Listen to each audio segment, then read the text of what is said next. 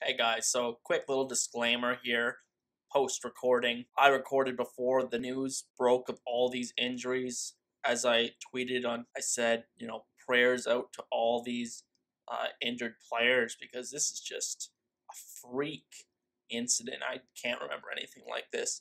But anyway, guys, I just wanted to put that in there. Enjoy the video.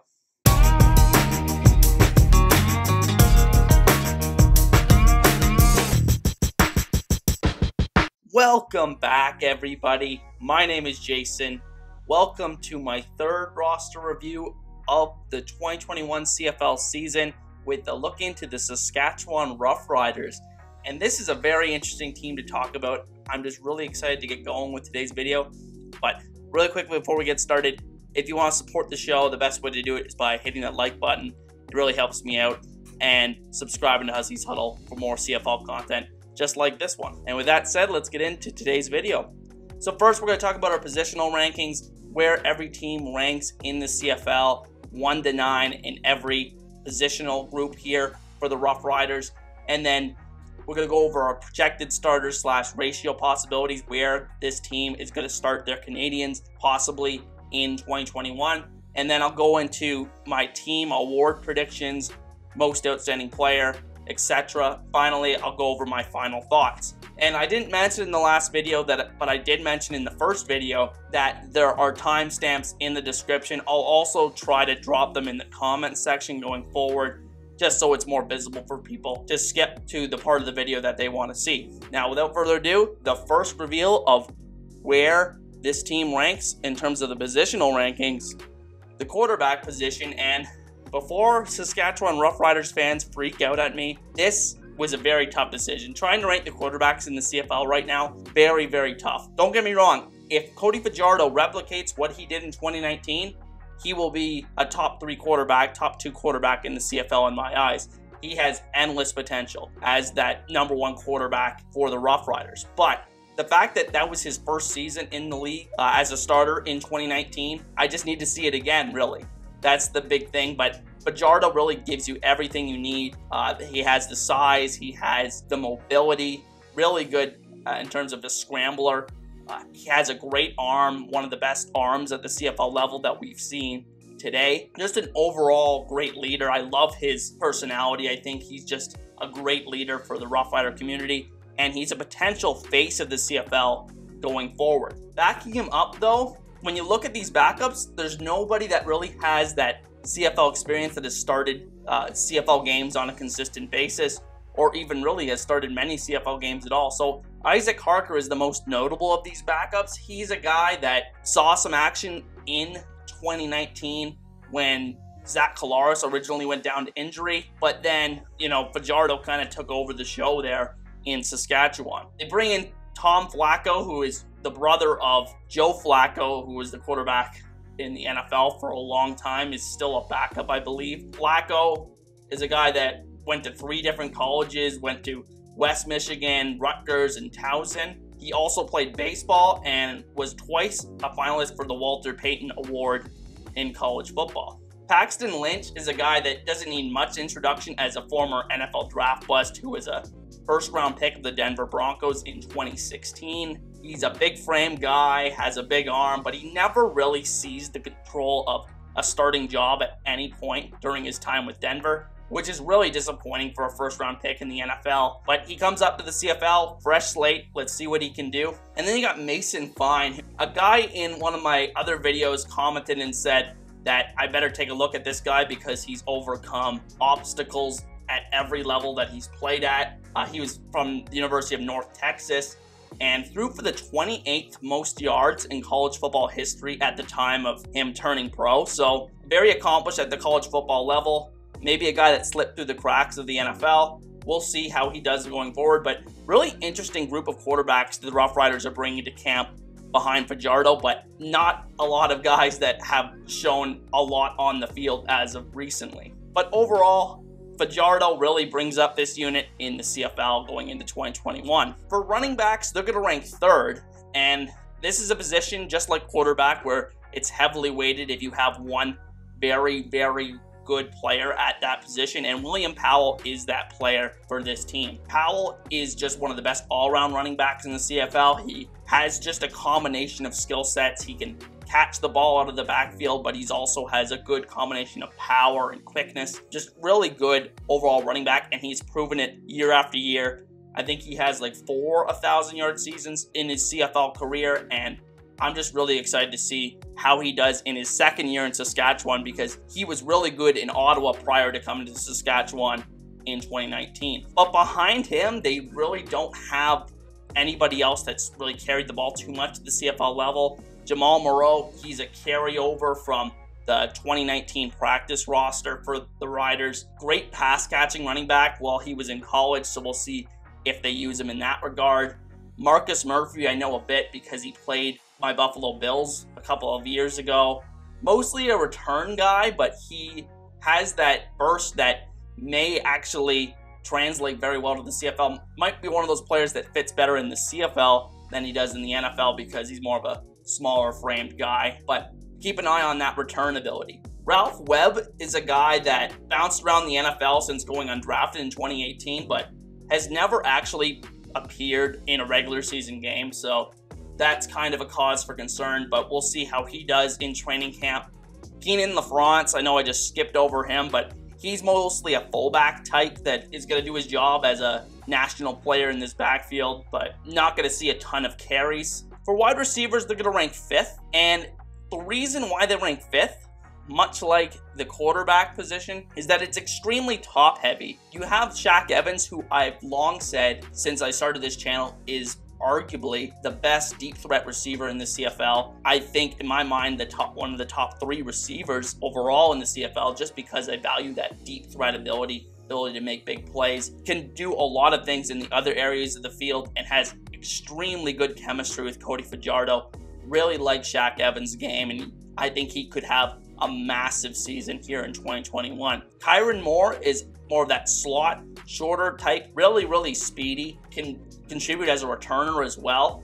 Really good when using the waggle, and they just used him very effectively in the 2019 offense. So I'm really excited to see how he follows up on that in 2021. Jordan Williams Lambert is a guy that I don't know what to expect out of him in 2021 because in 2019 he comes in midway through the season after getting cut in the NFL, comes back to the Riders where he was previously a very good player and didn't really make much of an impact despite some playing time. So we'll see what happens with him, but I think this team is going to have to rely on him to be a pretty crucial part of this passing game here in 2021. Carlos Henderson is a guy that made exactly one catch in 2019 after being signed by the Riders, so there's not much to go off of there when it comes to where he is going to be projected to be in this Riders offense in 2019. But the fact that he was on the roster previously may give him an edge because he's familiar with the coaching staff of the Riders. Paul McRoberts He's been out of the NFL since 2017 when he was on the Rams active roster. So a guy that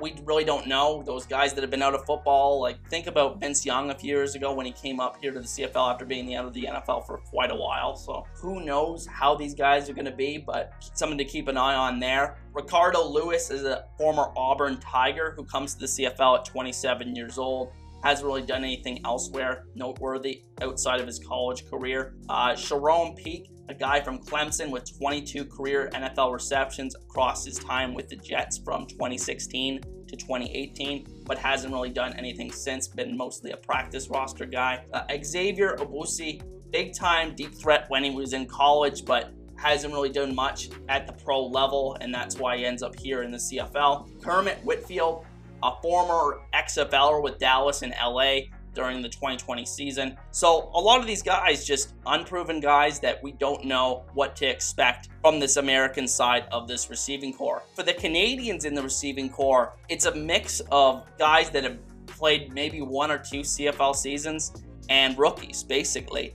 Uh, Justin McInnis, I think he's the leader to be one of the starters in the receiving core, to be maybe that lone Canadian that starts at receiver for the Riders. He was their first round pick in the 2019 CFL draft and actually made uh, double digit receptions as a rookie. Was able to get on the field, so that was an encouraging sign. So I think he's the leader to be the starter there. But this is going to be a hell of a competition Jake Harty is a guy that was out of the league since 2017 and he's attempting to come back. Mitchell Picton was a 2017 draft pick of the Riders and hasn't really done much at the CFL level, but we'll see again if he can finally have this breakthrough in this offense.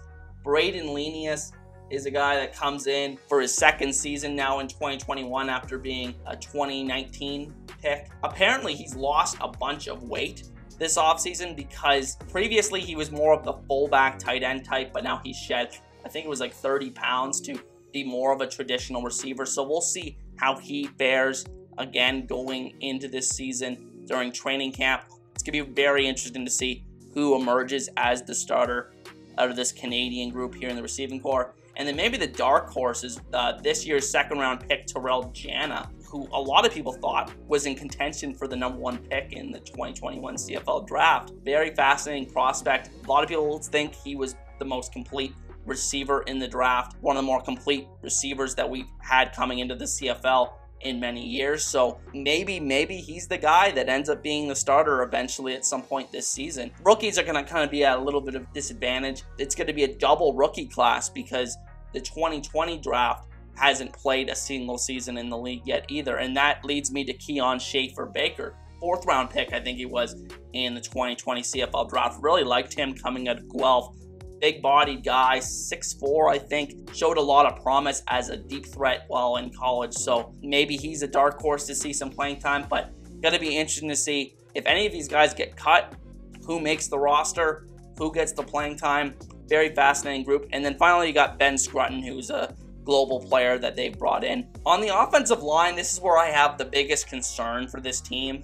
Uh, and this really just stems from their offseason retirements that have happened recently. So Brendan LaBatte is the guy that it's going to hurt a lot this unit because he was absolutely, without a doubt, the best offensive lineman on this team. Even though he's struggled with injuries over the past few years, his just overall ability, his versatility, he can play center, he can play guard, he can cover for a lot of different positions that this team needs in the event of an injury and now they don't really have that guy, and that's that's concerning. And he's a five-time CFL All-Star, just an absolute stud, and they lose him at least for this year. Apparently, he's going to be coming back in 2022, but we'll see what happens with him.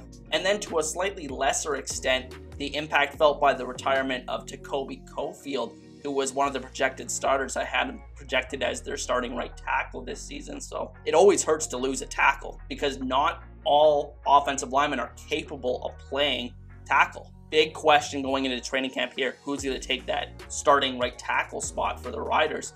But with that said, let's go into the actual active players here for the Riders. So Teron Vaughn, he's going to be their left tackle. Very solid player. About your average starter at on the offensive line for a tackle position. So I like him. He's not the best offensive lineman in the world, but very, very sturdy, and uh, I trust him to be a solid starter for this team going into 2021. Dan Clark is this offensive line's best offensive lineman, plays the center position, was just an absolute mauler as a run blocker in 2019, and really solid as a pass protector as well. Really like him. Evan Johnson, now he's the guy that they bring in from the free agent class. And really, the retirements of LaBatte and Cofield really make the Johnson signing seem even more important. Evan Johnson is a guy that he does have a little bit of capability of playing a little bit of tackle as well, but he's mostly going to be a guard position. And I guess a blessing in disguise is that with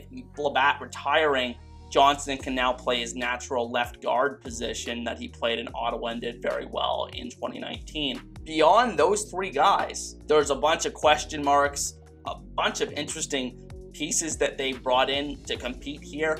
Josiah St. John, former number one overall pick in the CFL draft, hasn't really worked out for him ever since he came out of Oklahoma, but he's still on a roster and you got to give him credit for him. He's still grinding away in the CFL a lot of guys give up. You know, they don't see the financial rewards if they struggle early on in their career. So good on St. John for keep on going. And maybe, just maybe, this is his opportunity to break through with a lot of spots up for grabs here in the offensive line for the Saskatchewan Roughriders. Brett Boyko, he got a lot of flack during the 2019 season for his play with the BC Lions. Got absolutely exposed as a tackle coming up to the CFL after playing in the NFL for a while. We'll see what he does as a encore to that 2019 season here in 2021. I don't know if they view him as a tackle at this point. They might they might want to start a Canadian at tackle, but I really don't know if that's the best decision. Maybe he's better suited as a guard where they can kind of hide his flaws a little bit more. But because he has so much playing experience, I could see him for sure making this roster and seeing significant playing time for this team. Mattland Riley, a guy I'm really excited to see how he does. He was their first round pick in the 2020 draft, so last year's CFL draft. And because of these retirements, I could see him playing much earlier than maybe they originally planned. Uh, Cyrus Kouandjio, a guy that I'm very familiar with, who was a second round pick of my Buffalo Bills.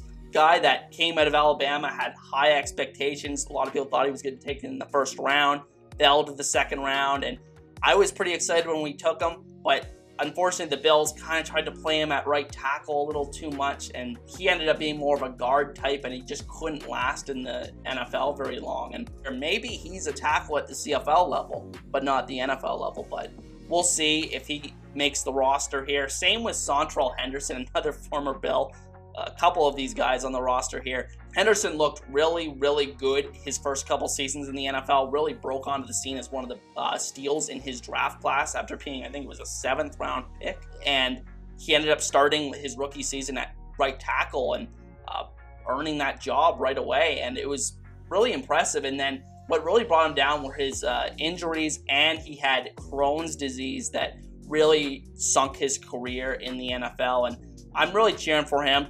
Jesse Lawson, a 2020 draft pick. Same with Logan Bandy, who they took this year. And Logan Ferland was a guy that they acquired through the territorial draft process. So, very, very interesting offensive line group for the Riders, but it has a lot of questions, and that's why it ranks at eighth in the CFL. It just previously, if they had LaBatte, they had Cofield, they probably would have been a top three unit. But having questions along the offensive line is very scary going into a season. So we'll see how they sort it out. I think they have enough strengths on this roster otherwise to be fine, but we'll see if this becomes a problem area for them this season. On the defensive line, they're going to rank fifth, despite some high profile offseason loss of uh, a certain player. Was really the heart and soul of this defense for the last few years arguably the best pass rusher in the league. But people forget how good this unit was otherwise, and I think people aren't giving them enough credit. Uh, they're kind of just writing this unit off. But they have AC Leonard, who is a very, very strong pass rusher in his own right. He's proven a lot at the CFL level. Was a double-digit sack guy last season, or in 2019 rather. Uh, Micah Johnson, who at his best, which granted wasn't since 2018, he was the best defensive tackle in the CFL, and he proved it for a long time. In 2019, he had a down season when he came to Saskatchewan, only had like a handful of sacks. Maybe his motor has slipped off a bit, but when he's engaged and motivated, he is a beast, and no team wants to face Micah Johnson on a weekly basis in the Canadian Football League. Freddie Bishop, a guy that had a double digit sack season a couple of years ago, likely figures in as the other defensive end in this unit. Makana Henry, a Canadian defensive tackle, mostly going to be a run stuffer guy, but can provide a little bit of pass rush upside at times. Charbel Dabire, a guy that seen a little bit of playing time in 2019, but we'll see how he does going into 2021 uh, as a guy that he really did flash some potential in those limited opportunities. So maybe he ends up overtaking Henry eventually in this defense. Who knows? Like some of these guys could take massive jumps with how much time they've had to train for this season, right? But there's not too much to say about these other guys. Jordan Reaves has been here for a few years. Sterling Shippey, he was a guy that's he's been on the roster. I believe was on the practice roster in 2019, but all these other guys, mostly just American free agent additions that I don't know too much about, couldn't gather too much about them. But this unit, I don't think a lot of people give them enough credit. I think they're a pretty good defensive line still, even without Charleston Hughes. Granted, if they had Charleston Hughes, they'd arguably be number one in the league, but I digress. At linebacker, again, they're going to rank fifth. A lot of fives on this list. It starts with Deon Lacey, who recently signed as a free agent a couple weeks ago, really. Guy that comes back to the CFL, has a ton of NFL experience from uh, his time, played with the Bills, he played with uh, the Dolphins, I believe. Uh, mostly a special teams guy in the NFL. Didn't really see too much time on the defensive side, but at the CFL level previously, he was a very good strong side linebacker, and that really solves a lot of uh, questions that I had about this unit. It allows that secondary basically to remain intact. We'll talk about that in a second. Uh, Larry Dean, who they bring over from Hamilton, just a really, really strong middle linebacking presence. He's going to be that vocal leader for this team in the middle of the defense after they lose Solomon Elimimian. So I thought that was a really good pickup. Jordan and Justin Herdman Reed. Might as well talk about the twins together. One of them's probably going to end up starting at some point. Jordan is the guy that has more playing time experience for this time from BC, but Justin has seen a good amount of playing time with Toronto as well. So excited to see those guys. The problem with Dean and the Herdman Reed brothers, though, is that neither of those guys, none of those guys really excel in the coverage aspect of linebackers. So, got to be a question to see if those guys get played together at all, but we'll just have to see. Uh, Micah Teitz is a guy that might factor in as well as a Canadian start in this linebacking core, maybe over the Herdman Reed brothers. I've seen that projected, but I think that one of the Herdman Reed brothers is going to start over him. Oluwaseun Idowu is a guy that was a holdover from 2019 We'll see if he ends up getting a first crack at playing time at the weak side linebacker position. They may change it up and not start a Canadian linebackers after losing Cameron Judge. Kevin Francis, a veteran special teams Canadian player, might make the roster, may not, depending on what their special team situation is. Uh, Deshaun Davis is a guy that was on the roster, I believe, last season. But of course, we didn't have a season, and he's still going to be on the roster coming into the 2021 training camp. But anyway, that is the linebacking room, and I'm excited to see how this team reacts to losing Cameron Judge and Solomon Elimimian in free agency and to retirement, respectively, over the past 12 months. Now, the real highlight for this defense is the defensive back room, which is going to rank first in the CFL. Nick Marshall is arguably the best corner in the CFL right now, arguably maybe the best DB. Yes, he's going to get beat sometimes, but sometimes he absolutely locks down the field.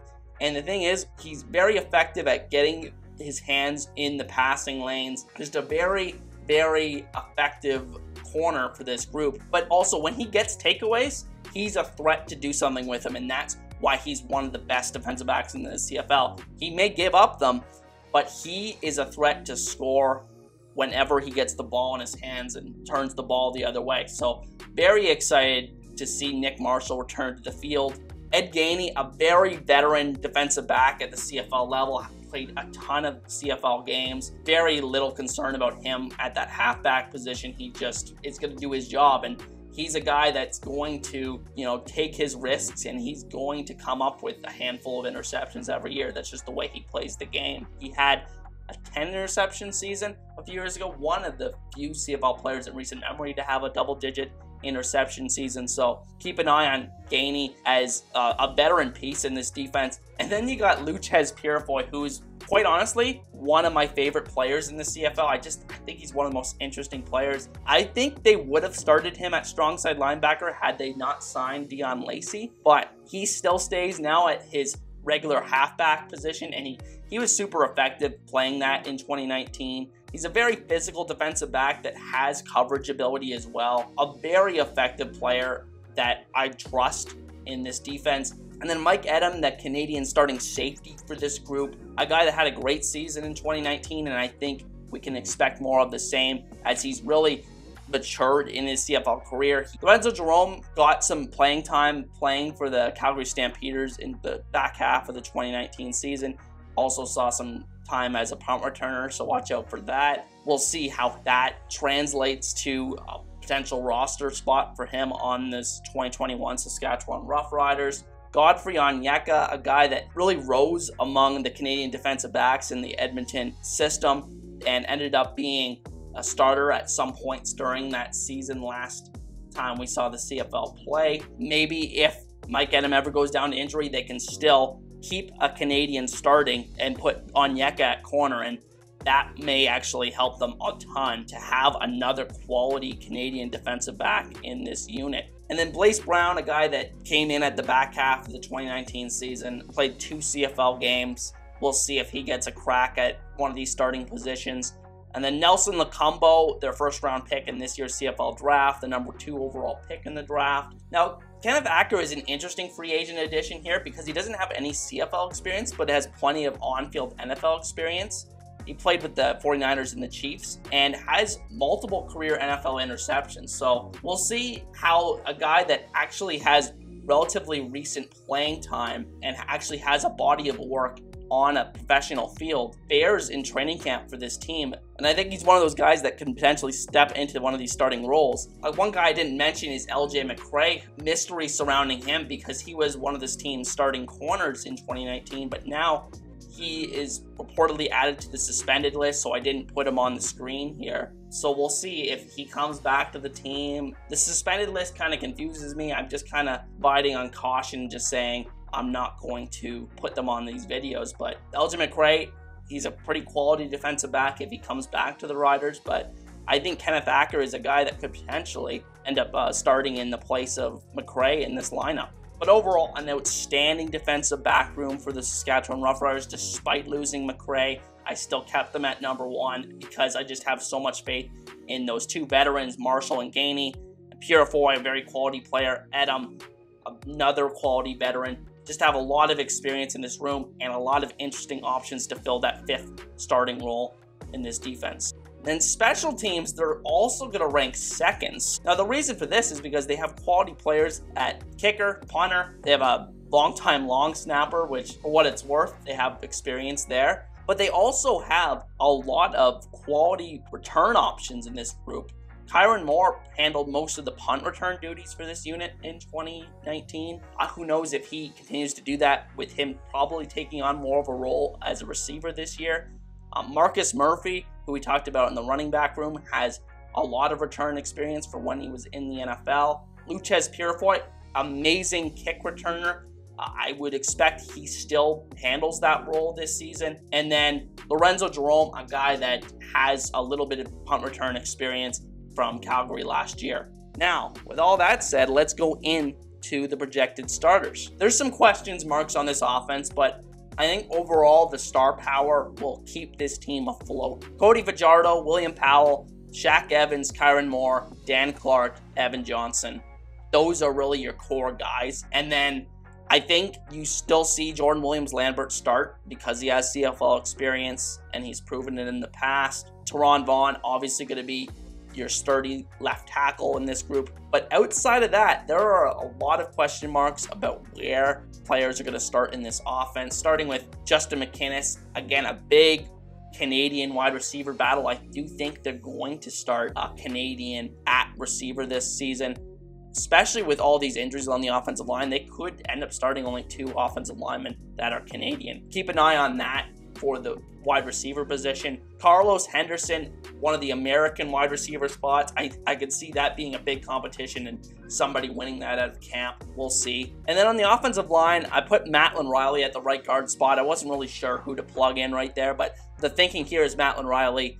They have all those retirements with LaBatte and stuff. So, and Mattland Riley comes into his first training camp. He had that extra year to wait to come into the CFL, and we'll see if he blows them away in training camp. And under that scenario, he ends up starting like I have it here. On the right tackle, I have Seantrel Henderson. I think either him or Cyrus Kouandjio is going to end up being that starter at right tackle. I don't see them going a Canadian route unless they go with Brett Boyko, but I really don't want them to go with Brett Boyko because, oh ah, man, he was he was brutal as a tackle in in 2019. There's a lot of questions with this offensive line going into this season, but I think three of the five starters are pretty well set, and we'll have to see what happens with those other two positions. On defense, they're pretty interesting. You got the three core starters on the defensive line. There's not much to talk about there with AC Leonard, Michael Johnson, Makana Henry.